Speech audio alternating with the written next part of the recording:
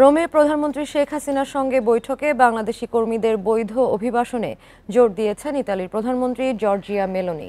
এ সময় বাংলাদেশি শ্রমিকদের প্রশংসাও করেন তিনি। জবাবে শেখ হাসিনা জানান তার সরকারও এ বিষয়ে জিরো টলারেন্সের নীতিতে বিশ্বাসী। পাশাপাশি বাংলাদেশের অর্থনৈতিক অঞ্চল ও হাইটেক পার্কে বিনিয়োগ আরও বাড়ানোর আহ্বান জানান প্রধানমন্ত্রী।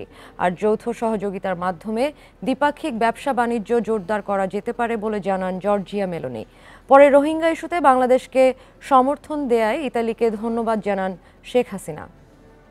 এছাড়া দুই প্রধানমন্ত্রীর উপস্থিতিতে বিদ্যুৎ ও সাংস্কৃতিক সহযোগিতার বিষয়ে দুটি সমঝোতা স্মারকও সই হয়েছে।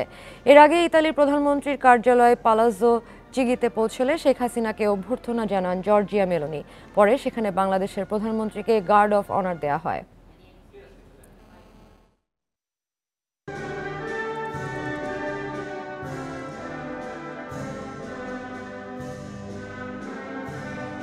প্রধানমন্ত্রী বলেছে, আমার দেশে লেদার গুডস আছে।